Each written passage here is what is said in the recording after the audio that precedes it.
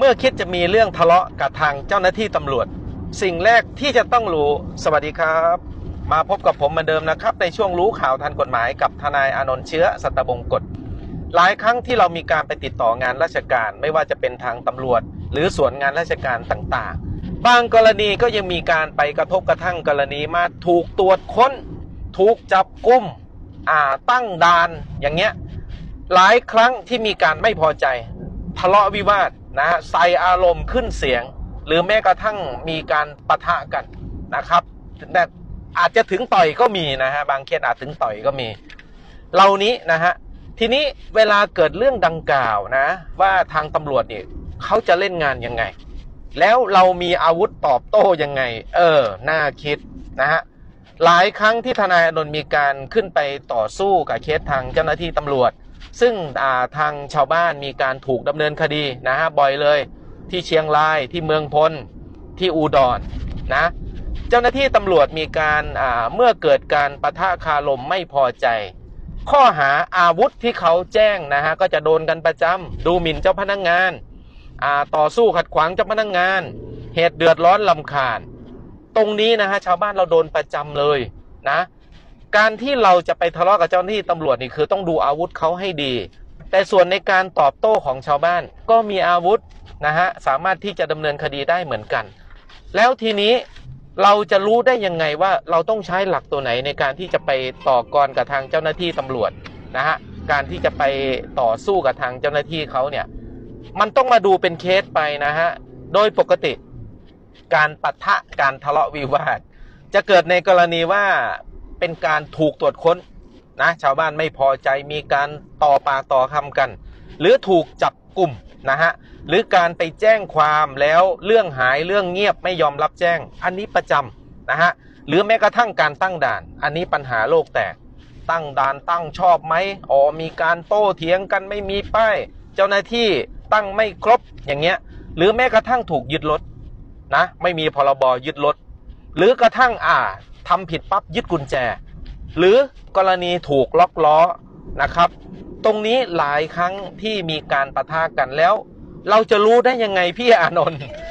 การประทะกันแต่ละครั้งนะฮะการที่ใครจะถูกจะผิด ตรงนี้เราจะต้องมาดูเป็นเคสกรณีกันนะครับ ว่าในกรณีกฎหมายโดยปกติ จะคุ้มครองบุคคลซึ่งทำถูกต้อง แล้วใครจะทำถูกต้องนั่นคือคุณต้องเจาะกฎหมายเป็นเรื่องเป็นเรื่องไปนะฮะว่า การปฏิบัติงานของเจ้าหน้าที่เนี่ยเขาปฏิบัติตามหลักตามเกณฑ์ตามระเบียบไหมถ้าเขาตามหลักตามเกณฑ์ตามระเบียบ เราไปโต้แย้งเราไปด่าเขาเราจะถูกดำเนินคดีนะ อันแรกโดนมาชุดใหญ่เลย จัดแพ็กเกจมาดูหมิ่นเจ้าพนักงงาน ซึ่งกระทาการตามหน้าที่ต่อสู้ขัดขวางเจ้าพนักงงานอ่า สร้างเหตุเดือดร้อนลำคาญนะครับ ตามมาตรา 397 อันนี้คุณโดนแน่ ยกตัวอย่างง่าย ๆ อาจจะได้เข้าใจการค้น การค้นสมมติว่าอยู่ๆนะตำรวจมีการมาโบกรถเราขอเข้าทำการตรวจค้นอะ เป็นเราเราก็ไม่พอใจ เฮ้ยมีเรื่องอะไรทำไมจะมาค้นอ้วอ้วรีบ แล้วกลัวอ้วอายคนนะรถจอดเป็นแพรมาเคาะรถอ้วคันเดียว เอาละสิเกิดปากเสียงกันนะ อันนี้ยกตัวอย่าง เบื้องต้นนะฮะเราต้องมาดูก่อนว่าเอาในการกระทำการเจ้าหน้าที่ถูกต้องไหมถูกต้องเริ่มยังไงก็ต้องมาดูว่ามีเหตุในการค้นไหมนะครับ ซึ่งในการค้นปกติต้องปฏิบัติตามปวิอาญามาตรา 93 นั่นคือ มีเหตุอันควรเชื่อ ว่าบุคคลนั้นมีสิ่งของในครอบครองมีไว้ได้มา หรือจะใช้ในการกระทำความผิด ต้องมีเหตุอันควรสงสัย อยู่ๆไปเคาะโป๊กโป๊กขอตรวจค้น อันนั้นตำรวจไม่มีสิทธิ์ เมื่อตำรวจไม่มีสิทธิ์ เรามีสิทธิ์ที่จะป้องกันตนเองตามามาตรา 68 ของประมวลกฎหมายอาญาซึ่งจะถือว่าไม่มีความผิด นอกจากนั้นถ้าเราไม่ปฏิเสธการตรวจค้นนะตำรวจยังมาบังคับเรานั่นคือเขาจะปฏิบัติผิด 157 แล้วก็บังคับให้กระทำการหรืองดเว้นกระทำการตามมาตรา 309 ของประมวลกฎหมายอาญานั่นคือเราจัดชุดใหญ่ ให้ตำรวจได้เลยนี่คืออาวุธของชาวบ้าน แต่ถ้ากรณีว่าเขามีเหตุค้นแล้วคุณขัดขืน เอาละสิหนึ่งคุณจะโดนข้อหาดูหมิ่นเจ้าพนักงงานนะครับ ก็มาตามมาตราหนึ่งสามหกอันที่สองก็คือขัดคำสั่งเจ้าพนักงงานตามมาตราสามหกแปดอันนี้เขาเล่นงานคุณแน่นะครับ อีกอย่างหนึ่งก็คือก็เหตุเดือดร้อนลำคาญตามมาตราสามเก้าเจ็ดตามมาแน่นอนนะรวมถึงแม้กระทั่งว่าเขามีการตรวจค้นรถนะฮะ เขาจะทำการยึดรถหรือนำไปที่สถานีตำรวจ แล้วคุณมีการขัดขืน นั่นคือจะเป็นการต่อสู้ขัดขวางเจ้าพนักงานอีกกระทงหนึ่งนะ ตรงนี้ก็ถือว่าเป็นชุดที่เจ้าหน้าที่เขาจัดแน่นอนนะฮะจัดแน่นอนนะฮะมันถือว่าเป็นการแลกกัน ถ้าตำรวจทำไม่ถูก แต่แต่ทีนี้ว่าคุณต้องแม่นนะฮะว่า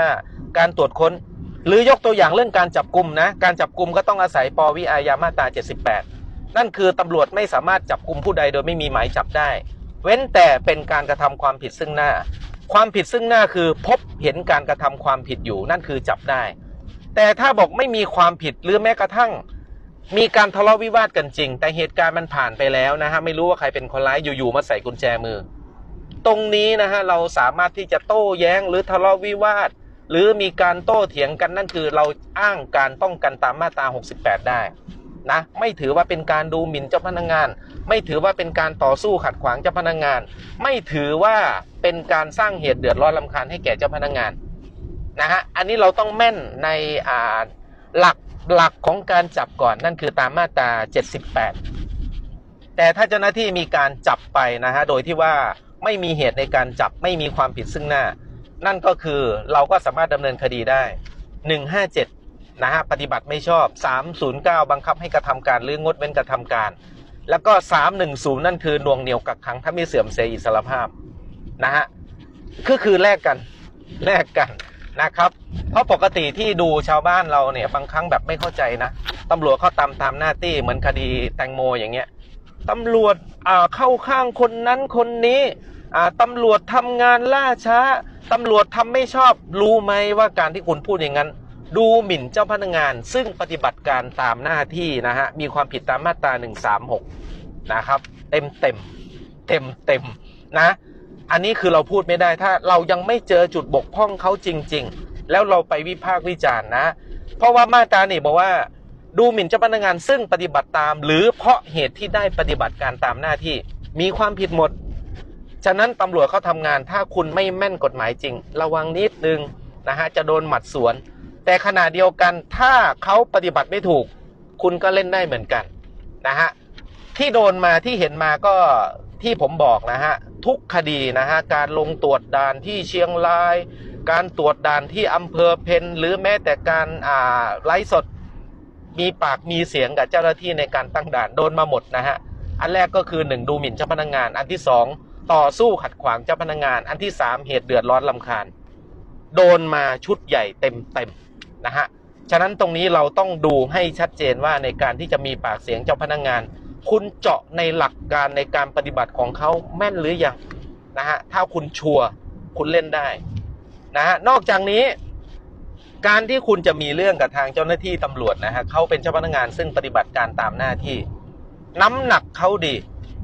การที่คุณจะมีปากเสียง การที่คุณจะทะเลาะพยานหลักฐานสำคัญที่สุด นะครับ ในการที่คุณจะโต้แย้งการทำงานของเจ้าหน้าที่ ดังนั้นก่อนที่คุณจะดำเนินการอะไรทั้งหมดคุณต้องเตรียมพยานหลักฐานในการที่คุณจะเถียงกับเจ้าหน้าที่ ซึ่งน้ำหนักพยานเข้ามากว่าครึ่งแล้ว ดังนั้นยกตัวอย่างก็คือสมมติการตรวจค้นนะฮะโดนตรวจค้นปั๊บไม่พอใจเจ้าหน้าที่ไม่มีเหตุอ้าวเราจะโต้เถียงเปิดกล้องครับ มันต้องเปิดกล้องไม่งั้นคุณไม่มีหลักฐานไปให้ศาลดูนะ อันที่สองคุณถามเลยว่าเจ้าหน้าที่มีเหตุอันควรสงสัยอะไร ปฏิบัติตามปวิอาญามาตรา93 ถูกต้องไหม สงสัยยังไงข้าพเจ้ามีสิ่งของในครอบครอง มีไว้ได้มาหรือจะใช้ในการกระทำความผิดนะฮะมันต้องเข้าอยู่ในกล้องถ้าไม่มีเหตุ เราต้องปฏิเสธนะครับ ไม่ใช่ว่าอายินยอมผมพลเมืองดี ถ้าเกิดว่าคุณยินยอมคุณไม่ต้องมาปากดีจะมาเอาเรื่องเจ้าหน้าที่ตำรวจ เพราะเขาจะไม่มีความผิด ก็เพราะคุณยินยอมนะฮะ แล้วก่อนที่เขาจะตรวจค้นอย่าลืมแสดงความบริสุทธิ์ซะด้วย ไม่งั้นไม่รู้เขาจัดชุดใหญ่อะไรให้คุณ คุณไปปากดีโดนตบโดนยัด อันนี้จะมาโวยวายทีหลังไม่ได้นะครับ สุดท้ายก็คือในการที่เราถูกปฏิบัติไม่ชอบนะฮะสามารถแจ้งความในท้องที่ที่เกิดเหตุปปทปปชกองปราบเตรียมพยานหลักฐานให้ดี ทุกสิ่งทุกอย่างนะฮะการพิสูจน์ความผิดต้องใช้พยานหลักฐานทั้งนั้น แต่มีเคล็ดสาระความรู้ดีๆ ทนายอนนท์มาให้ความรู้เราเหมือนเดิมแน่นอน วันนี้ขอตัวลาไปก่อนพบกันใหม่คลิปหน้า สวัสดีครับ